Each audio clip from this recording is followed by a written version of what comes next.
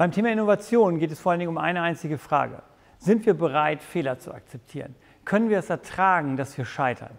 Denn Innovation bedeutet immer etwas Neues zu beginnen und wir wissen nie, wo wir landen. Das heißt, es kann auch sein, dass wir scheitern. Und wenn wir das nicht ertragen können, wird es nichts mit der Innovation.